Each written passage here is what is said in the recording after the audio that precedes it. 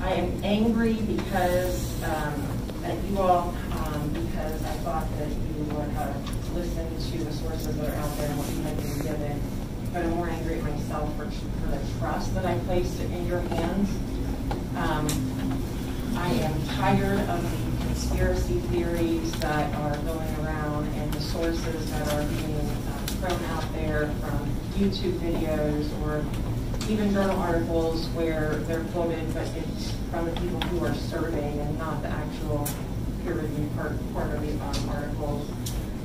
Um, I have heard multiple people quote the Constitution and the Bible and it's our rights or the rights. This isn't political. And all of our children do have a right to an education, and it has to be provided in a safe manner. Um, so I think at this point we need to reevaluate what we're doing because it's not working. I'm here. I have four degrees behind my name. I have multiple certifications behind my name. If you guys have any questions, feel free. Thank you. Sorry to interrupt, folks, but please just take 30 seconds to hear about this free coin offer for my viewers. Now, inflation isn't something that we've heard of in a while, is it? But last month, the inflation rate in the US had the highest rise in the last 29 years. You heard me right, the last 29 years. It's not too late. Noble Gold specializes in retirement planning and IRAs, so their team of experts is your first step. This month, they're offering a 1 ounce American Eagle solid silver proof coin with every IRA or 401k taken out. Not many people can relax with inflation this high. Visit our website at noblegoldinvestments.com or just click the link in the description or pinned comment. Um, and this is not to mention the threat posed to faculty and staff. The vaccines work, but when you're surrounded by unvaccinated children who can circulate the virus at high levels, that vaccine-induced protection is challenged, particularly in older individuals. He says, anecdotally, I ride my bike through both the middle school and elementary school on my way into Ohio State. The kids are all wearing masks as they come to school because Columbus mandates them.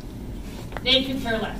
Making it mandatory is not a burden on them. It's the parents that are the challenge. And the last I saw, there were something like 70 peer-reviewed scientific research, research studies on the efficacy of masks, and something like four or five that say they don't work. The evidence is out there. It's all out there. If you choose to look at the scientific medical evidence and not TikToks and Facebook and memes and whatever, it's out there, and we need to follow that. Because we've been in school, what, three weeks? And here we are already talking about it again? Are we literally just going to wait until a kid dies? The option is it's wonderful to wear a mask. Mask does protect. And we can see by all the news, everything that's going on with all the hospitals, all the states. Your mask has a vent on it.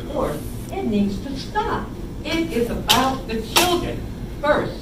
It's like if I'm driving in a car, I can't say I'm not going to put a seatbelt on. The law, I will get a ticket if I don't have a seatbelt on. It's just common sense sometimes what we need to do. There are laws, there are standards. You can't have freedom everywhere. Yeah, I'm here. I'm good. Can I go in his place? No. Are on the list, ma'am? Nope. Can I get on the list? We should have that. Yeah, it's after the fact, we normally don't have. I mean, Bill had a chance to go, so we're wasting his time. You could just let me go. Should have been here before the sign up. Bill had a chance to go. He had. We're, we're not. I'm not talking. I'm just saying Bill Just, had a chance to oh my god. Miss uh, Anita. We're gonna go. Don't worry. Hurry up. I understand. Carney? It's Rudy Carney. Good Italian Irish name. And I'll be very quick. I just wanted um, you guys to, I just wanted to understand the parents that don't want their kids to wear masks. Are you saying you want my child to die? Because I don't understand. It, it, it is. It's that No. serious. It's Nobody that said serious. That's bullshit. I'll wait on that. Well, it's that serious. Yeah. That's dramatic shit there. COVID Yeah. killed a lot of people. That's a bit much. COVID has killed a lot of people. And That's it's not going to hurt anybody by saying, let's wear masks. Let's learn from history. The Spanish flu killed more people than the COVID. And they didn't have a vaccine in the 1918 to 1930. They did social distancing and masks. Why are we not learning from that? And they did lockdown.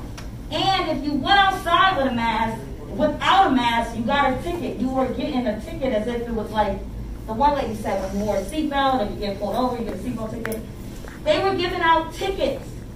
So let's learn from history. The Spanish flu killed many, many, many, way more people than COVID. Yeah, it was way worse. And they didn't learn until they enforced lockdowns, masks, and I don't care if it's a free country.